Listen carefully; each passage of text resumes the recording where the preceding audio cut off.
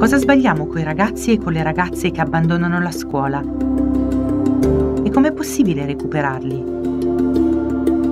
Relazione. Educare. Scuola. Osservare. Emozioni. Domandare. Insieme. Sono Michela Calvelli e questo è Orizzonti Educativi, il podcast che dialoga con chi l'educazione la vive per estrarre apprendimenti dall'esperienza. Oggi esploriamo il pensiero educativo e alcuni strumenti pratici suggeriti da Ennio Ripamonti. Ennio si avvicina alle tematiche educative a metà degli anni 70 come giovane, impegnato socialmente. Dai primi anni 80 questa passione civile diventa una professione che lo porta a occuparsi di disagio e prevenzione nelle periferie milanesi. Con un gruppo di colleghe e colleghi dà vita a una cooperativa sociale e a un'associazione culturale. Ennio ama accompagnare progetti educativi innovativi e sperimentali, unendo l'attività accademica con il lavoro sul campo.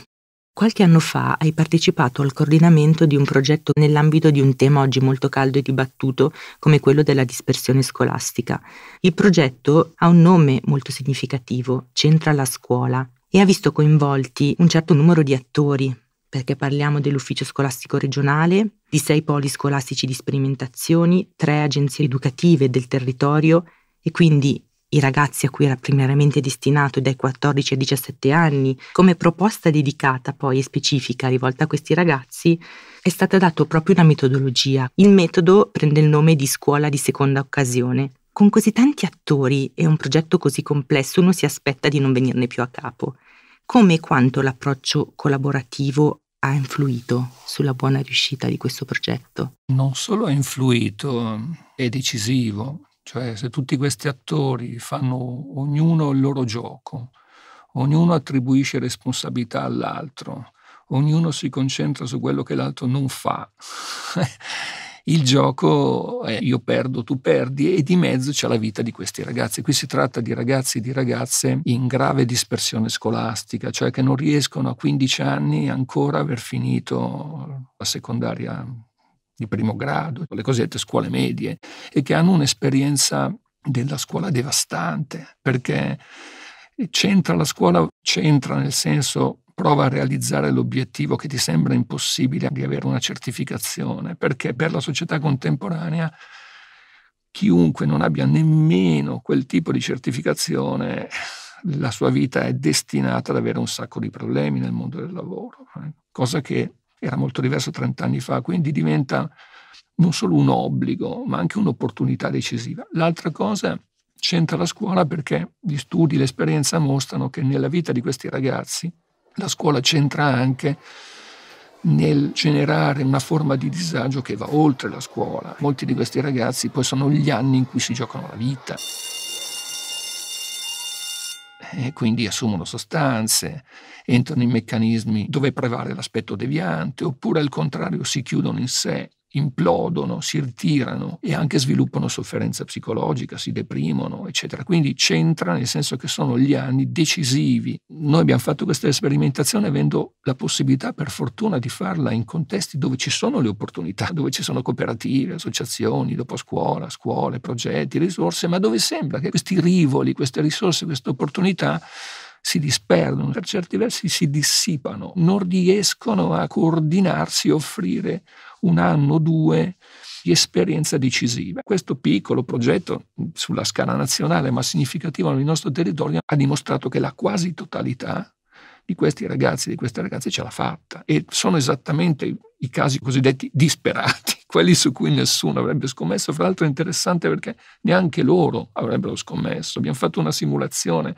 molto bella in cui si provava a vedere come loro si vedevano in vista dell'esame e la maggioranza di loro diceva che sarebbero stati tutti bocciati, che loro sono degli asini, sono incapaci, non impareranno mai a scuola, no? si sa che loro sono così.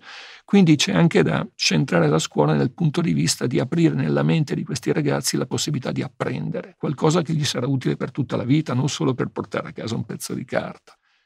Ora vorrei leggervi dei frammenti del contributo di una preside, coautrice del libro Centra la scuola, interventi di sistema per la grave dispersione scolastica. Questa preside scrive: Con Carlino non ce la facciamo più, preside. Ci dia una mano. Ci suggerisca qualcosa.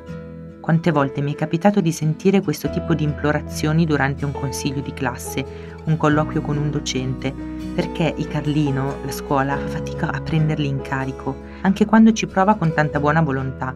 Non sanno stare in aula e collezionano note, conflitti, disagi e sconfitte. Allora il Carlino di turno cede, abbandona. Il passare del tempo, gli approfondimenti, i confronti con l'equipe, le discussioni in collegio e nei vari consigli di classe hanno, a poco a poco, fatto emergere quella che oggi è una realtà consolidata, una certezza nel mare delle incertezze della scuola pubblica italiana, e cioè dove noi, la scuola della prima occasione, non riusciamo, c'è una possibilità diversa, integrata con la nostra. È stato proprio il setting dell'esame a convincere anche i più perplessi o critici. Ma che bell'esame ha fatto Carlino, sempre lui. Sembrava un altro, ha portato una tesina scritta bene, ha persino risposto alle domande e poi, mi scusi preside, questa gliela devo proprio dire perché mi ha fatto un gran piacere. Ci ha salutato, ci guardava negli occhi e alla fine ci ha persino sorriso. Questa testimonianza ci fa un po' riflettere che questi ragazzi a volte diamo un po' troppo velocemente per scontato che sono loro ad essere sbagliati o che comunque i problemi della famiglia sono così grandi che non possiamo farci niente, che non è affar nostro in qualche modo. Invece questa testimonianza di questo progetto, di questa preside, mi fa pensare che la passione e il vero cuore di chi educa chiama un po' a interrogarci sul meccanismo e sulle proprie possibilità non c'è dubbio. In psicologia sociale c'è una nota teoria, un concetto che viene chiamato errore fondamentale di attribuzione. Che cosa vuol dire? Che noi tendenzialmente attribuiamo le ragioni dei comportamenti delle persone, quindi il Carlino che va male, a qualcosa che è dentro di lui ha dei fattori in larga parte individuali, quindi non ha voglia, non è motivato, non è educato, non è abbastanza intelligente. Poi i termini cambiano, però il senso è quello. Cioè, noi sappiamo che questo non è che non sia vero, ma l'errore fondamentale di attribuzione è sottovalutare i fattori cosiddetti ambientali. Come è impostata la lezione, com'è la classe, com'è lo stile di insegnamento, com'è il gruppo e tutta la tendenza contemporanea di chi si occupa di questi temi, che è più dichiarata eh, che è praticata, è passare da forme di educazione e di insegnamento centrate su chi insegna o chi educa, cioè sugli adulti, a forme di insegnamento e di educazione centrate su chi apprende. Tendenzialmente la critica che viene mossa è ma come faccio io con ognuno di questi? Eh? È vero, però è anche l'opposto, che l'energia che viene messa poi nel gestire i migliaia di Carlino che danno problemi potrebbe essere spesa nello sperimentare all'interno del modo di fare scuola, di insegnare, metodologie che alternano forme di apprendimento di ambiente e in questo caso appunto l'esperienza mostra che lo stesso Carlino sembra un altro, non perché gli è successo qualcosa di miracoloso, ma perché a 13, 14, 15 anni la plasticità della mente consente di apprendere magari non facendo la strada A, ma la strada B.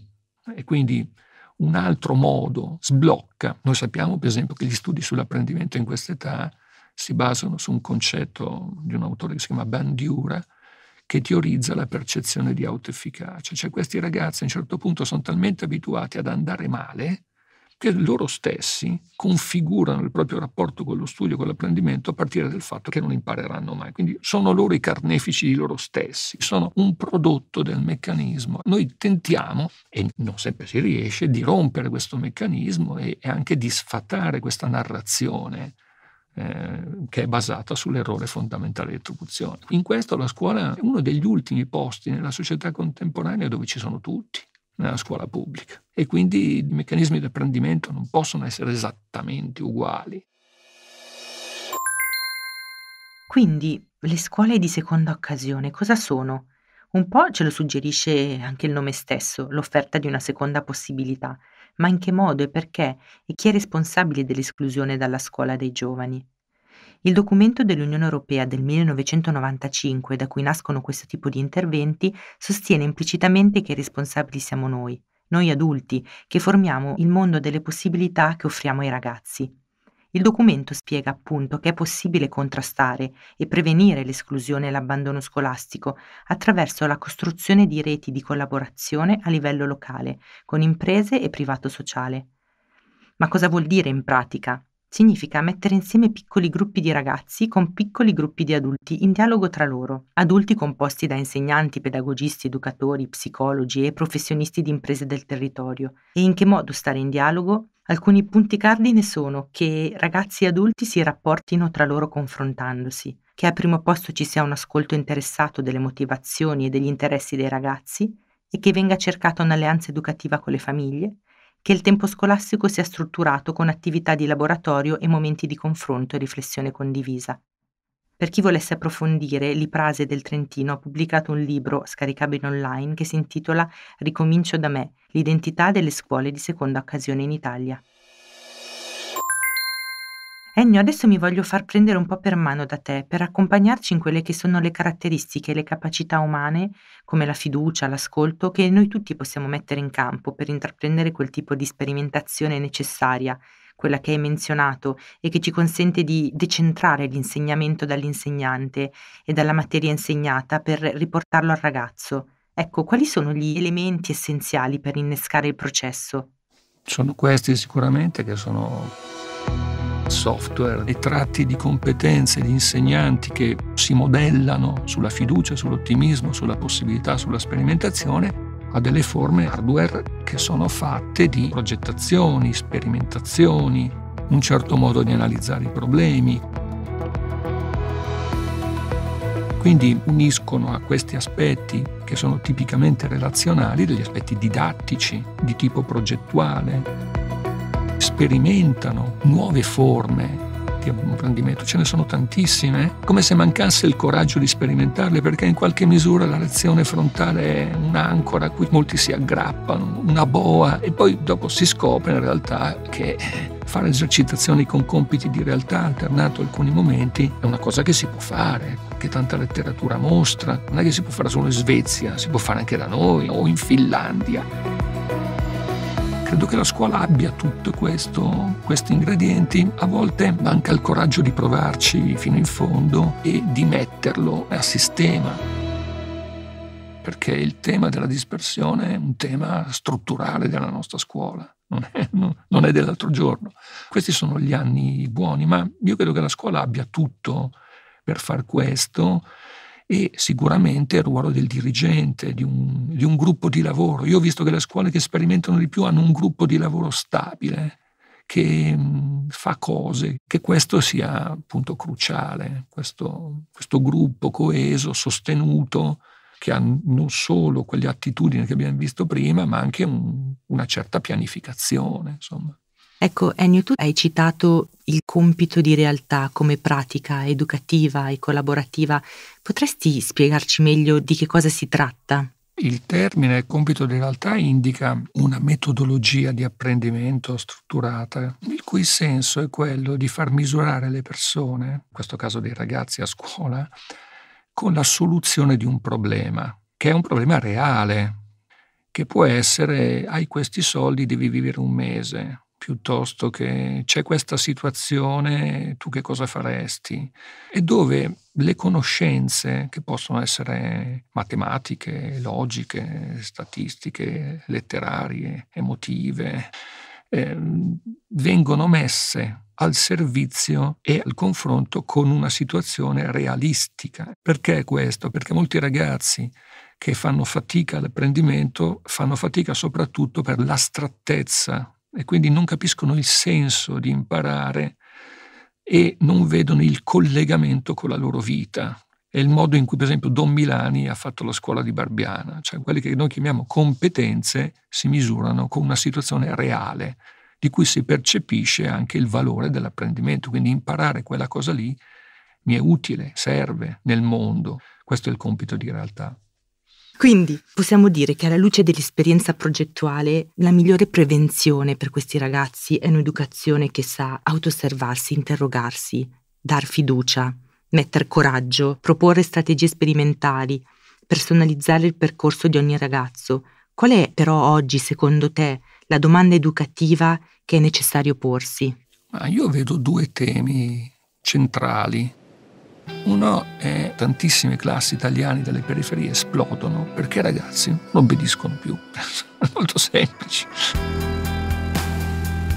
Perde la scuola, ma perdono anche i ragazzi, perché questi ragazzi che non obbediscono più che trasgrediscono, che rompono, che non stanno alle regole, sono quelli che i francesi chiamano le trasgressioni inefficaci.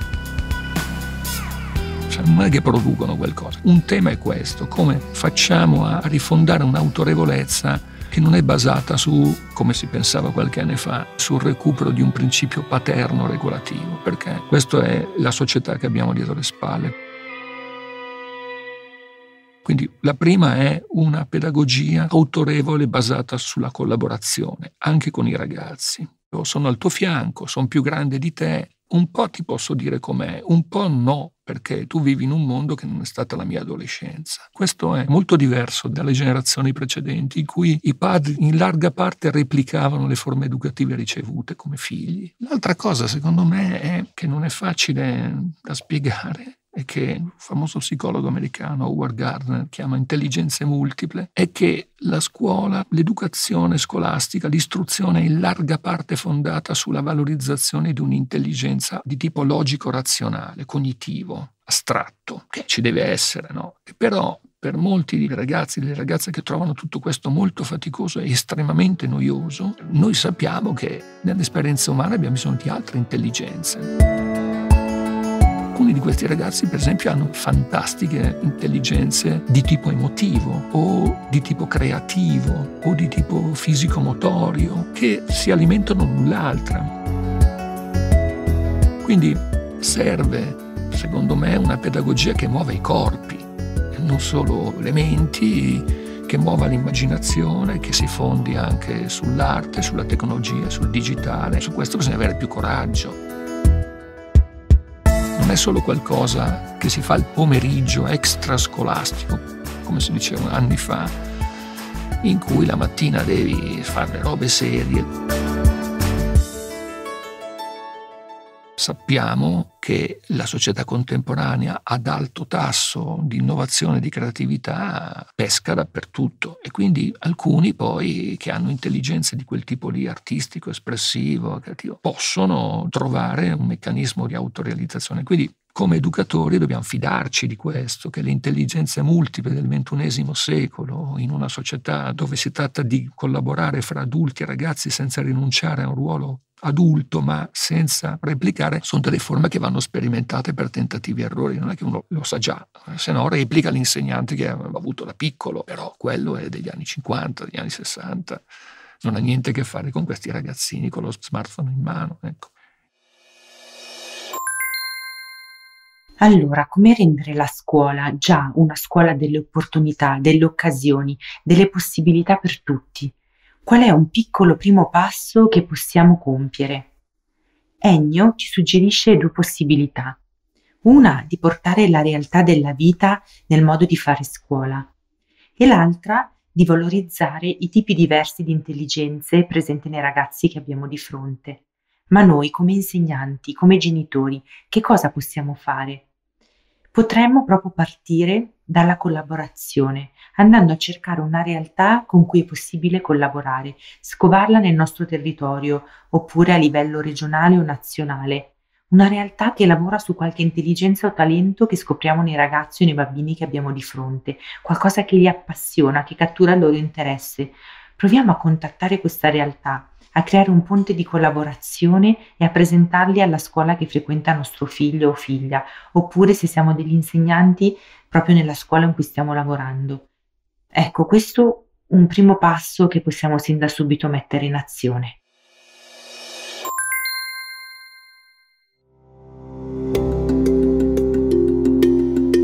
Grazie Ennio per averci accompagnato in questo dialogo esplorativo. Troviamo molti dei tuoi contributi e del tuo lavoro sul sito dell'organizzazione che hai fondato, metodi.it, e sul tuo blog Sviluppo di Comunità. Grazie per averci fornito gli ingredienti per iniziare a praticare un po' di collaborazione nelle nostre vite. Grazie, grazie a voi. Potete continuare ad esplorare insieme a noi gli orizzonti della relazione educativa con i prossimi episodi su www.edunauta.it. progetto di Generas Foundation, post produzione audio di Era Zero.